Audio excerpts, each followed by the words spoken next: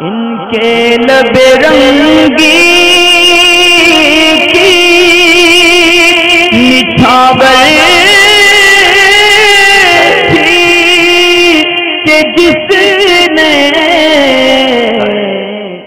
اچھا محرم کے اندر جیسے بچوں کو فقیر وغیرہ بناتے ہیں، گھر گھر بھیک منگواتے ہیں، ٹھیک اسی طرح ہرے کپڑے ان کو پہنا کر فقیر بنایا جاتا ہے دس دن تک، اور امتازی کو اوپر مہندی بھی چڑھائی جاتی ہے، ایک چار چکور ٹائپ سے کچھ بناتے ہیں، اس کو مہندی کا نام دیتے ہیں، اس کو چڑھاتے ہیں مہندی کو۔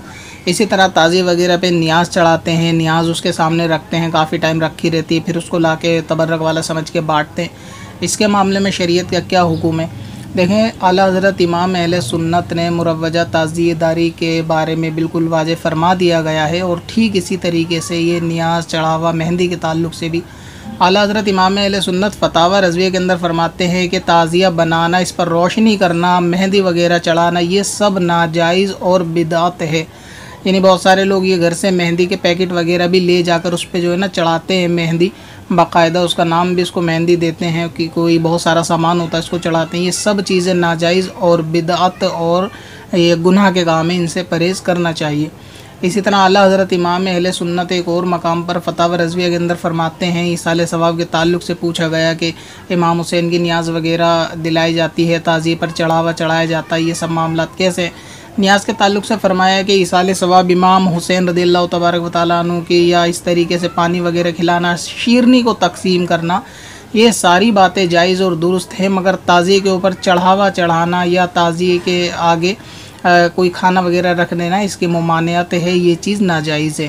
اسی طرح بار شریعت میں مفتی امجد علی اعظمی صاحب رحمۃ اللہ تعالیٰ علیہ فرماتے ہیں کہ تازی وغیرہ کے محرم کے مہینے میں بچوں کو فقیر بنانا، تازی کے اوپر چڑھاوا چڑھانا، اس کے سامنے منت مانگنا، یہ سب جہالت کی باتیں ہیں۔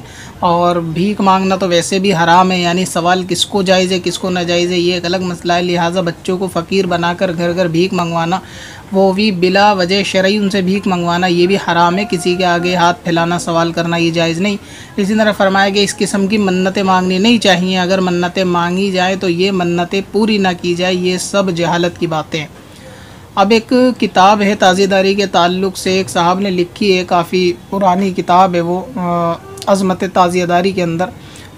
بہت ساری اس کے اندر باتیں جو ہیں، تازی داری کے تعلق سے اس کے جائز ہونے کی دلائل ہیں۔ حالانکہ بے موقع و محل وہ دلائل ہے اس کے اندر شروع میں شعار اللہ کی دلائل کو تعزیہ بتایا گیا۔ اسی طرح اہل بیت کی محبت کو محبت رکھنا واجب ہے، محبت، حالانکہ کوئی تعزیے بنانے کا اس سے کوئی تعلق نہیں ہے۔ کوئی بھی اگر تازی کو منع کرتا ہے تو وہ اہل بیت کی محبت کو منع نہیں کر رہا اصال ثواب کو منع نہیں کر رہا۔ اسی طرح اس میں اہل بیت سے حسد اور بغض رکھنے کی برائیاں گنوائی گئیں۔ وہ بھی اپنی جگہ پہ درست ہے کوئی اگر تازی کوئی خرافات کو منع کر رہا ہے، جو مروجہ اس وقت رواج میں ہے، تو اس کا مطلب یہ نہیں کہ وہ اہل بیت کا حاصل ہے۔ اور اس کتاب کے اندر سب سے خاص چیز یہ ہے کہ ایک بزرگ شاہ عبدالعزیز رحمۃ اللہ تعالیٰ علیہ پر ایک جھوٹ بھی باندھا گیا ہے۔ اور آپ کتاب کی زیارت اس کو ایک دفعہ کر لیں، میں آپ کو دکھا دوں۔ یہ کتاب ہے۔ کتاب کا نام آپ دیکھ لیں، رائٹر کا نام آپ دیکھ لیں۔ اور اب میں آپ کو وہ صفحہ دکھاتا ہوں۔ اس کتاب کا صفحہ نمبر ایک سو اسی ہے۔ یہ وہ صفحہ ہے۔ آپ اس کی عبارت کو پڑھیں۔ جو انڈر لائن ہوئی ہوئی اس کے اندر صاف لکھا ہے کہ شاہ عبدالعزیز رحمۃ اللہ تعالی کے حوالے سے فتح عزیزیہ کے حوالے سے، کہ انہوں نے فرمایا کہ نیاز وغیرہ جو تعزیے کے سامنے رکھ کر دلائے جائے، تعزیے پر جو نیاز ہوتی ہے، وہ اس قسم کی وہ متبرک ہے یعنی برکت والی نیاز ہے۔ اور بتایا گیا کہ اشاہ عبدالعزیز رحمۃ اللہ تعالی نے ایسا فرمایا، یا اشاہ عبدالعزیز رحمۃ اللہ تعالی علیہ بہت پرانے بزرگ ہیں، غالباً اعلیٰ حضرت سے بھی پہلے کے۔ اب جس کتاب کا حوالہ دیا گیا، ایک دفعہ اس کتاب کو بھی دیکھ لیتے ہیں۔ میں آپ کو فتح عزیزیہ دکھا دیتا ہوں۔ یہ فتح عزیزیہ ہے۔ انہی صاحب رحمۃ اللہ تعالی علیہ کی جن کے بارے میں کہا گیا ہے کہ انہوں نے کہا ہے کہ تازی کے آگے نیاز اگر کرائی جائے تو وہ برکت والی ہو جاتی ہے۔ اب میں اس کے اندر وہ فتویٰ آپ کو دکھاتا ہوں کہ انہوں نے واقعی میں ایسا کہا ہے یا پھر اس کتاب کے مصنف صاحب نے ان کے اوپر ایک جھوٹ اور بہتان باندھا ہے تازی کو جائز کرنے کی وجہ سے۔ یہ دیکھیے اس کا یہ صفحہ اور یہ پیج ہے۔ اب اس کے اندر پڑھ لیں گے شاہ عبد الشاہ عبدالعزیز رحمۃ اللہ تعالی علیہ کیا فرما رہے ہیں۔ انہوں نے فرمایا ہے اپنے اس فتوے کے اندر کہ جس کھانے پر امام حسین کا اصال ثواب کیا جائے، نیاز وغیرہ اس کی کی جائے، فاتحہ کی جائے، اس پہ درود، فاتحہ اور یہ سب چیزیں پڑھی جائیں تو وہ کھانا برکت والا ہو جاتا ہے۔ یعنی انہوں نے یہ نہیں کہا کہ جو تازی کے سامنے رکھا جائے گا وہ کھانا برکت والا ہو جائے گا، بلکہ انہوں نے کہا کہ جو کھانے پر اصال ثواب کیا جائے، درود، فاتحہ وغیرہ پڑھی جائے اور اس کا ثواب امام حسین رضی اللہ تعالیٰ عنہ کو پہنچایا جائے، جس کو ہم عرف عام میں نیاز بولتے ہیں، فاتحہ خانی جس کو بولتے ہیں۔ اگر کھانے کے اوپر وہ کری جائے تو وہ کھانا برکت والا ہے۔ آگے اب اس کے اندر پڑھیں، وہ فرماتے ہیں، البتہ وہ کھانا جو تازیوں کے سامنے رکھا جائے پوری رات اس کے سامنے رکھا، رکھے دینا یعنی رکھنا پوری رات اس کے سامنے، بلکہ اصلی قبر کے سامنے بھی رکھنا۔ اس میں مشابہت کفار پائی جاتی ہے، اس بنا پر اس میں کراہت ہے۔ ٹھیک ہے؟ یعنی دونوں باتیں بالکل جدا جدا ہیں۔ کتاب کے اندر تو یہ لکھ کر الزام لگایا جا رہا ہے شاہ عبد العزیز رحمۃ اللہ تعالیٰ علیہ پہ، کہ انہوں نے کہا کہ جو کھانا تازی کے آگے رکھا جائے وہ برکت والا ہے۔ وہ یہ کہتے ہیں کہ جو کھانا تازی کے سامنے رکھا جائے وہ کراہت والا ہے۔ تو یہ بہت بڑا ایک بہتان ہے اس کتاب کے اندر، یہ الزام ہے۔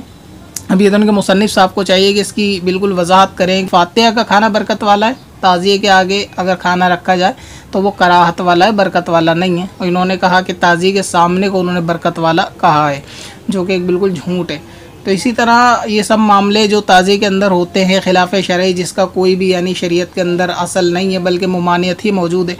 تو اس طرح بچوں کو فقیر بنانے سے، گھر گھر بھیک منگوانے سے، خلاف شرع کام کروانے سے، صرف ہرے کپڑے پہنانے سے اور کان وغیرہ چھدوانے سے، فقیری ان کو لباس دینے سے اور سب کے آگے ہاتھ پھیلانے سے، یہ سب معاملات سے بچنا بھی چاہیے اور اس میں مدد بھی نہیں کرنی چاہیے، ان کو دینا بھی نہیں چاہیے۔ قرآن پاک اس سے منع کرتا ہے کہ برائی کے کاموں پہ ایک دوسرے کی مدد نہ کرو۔ ٹھیک اسی طریقے سے جو اگر آپ کو نیاز فاتحہ کرنی ہے تو امام حسین رضی اللہ تعالیٰ عنہ کی اہل بیت اتخار کی فاتحہ خانی آپ گھر سے کر سکتے ہیں۔ گھر پہ کھانا رکھ کے نیاز کا بزرگوں نے طریقہ بتایا ہے، وہ طریقہ اختیار کریں۔ نہ کہ تازی کے آگے حلوہ پکا کے رکھ دیں یا کوئی کھانے کا سامان رکھ دیں اور پھر وہ گھنٹوں تک رکھا رہے اور اس کو لے جائیں یا تازی کے آگے بیٹھ کر نیاز کریں، یہ سب معاملے بھی ناجائز ہے اور شاہ عبد العزیز رحمۃ اللہ تعالی علیہ نے جو اعلیٰ حضرت سے پہلے کے انہوں نے بھی فرمایا کہ اس میں مشابہت کفار پائی جاتی ہے۔ یعنی جس طرح وہ بت کے آگے رکھتے ہیں، حالانکہ تازیہ بت نہیں ہے، اس کا انکار ہے، بالکل صاف تازیہ بت نہیں ہے، شرک بھی نہیں ہے، مگر یہ کہ جائز بھی نہیں ہے۔ ٹھیک ہے، اس سے کوئی اسلام سے باہر نہیں ہو جاتا، مگر وہ کھانا کو برکت والا سمجھنا نہیں چاہیے، بلکہ اس کو آگے چڑھاوا، چڑھانا بھی یہ جہالت کا کام ہے، ان باتوں سے پرہیز کرنا چاہیے۔ پتھر میں حسن لالے بنایا۔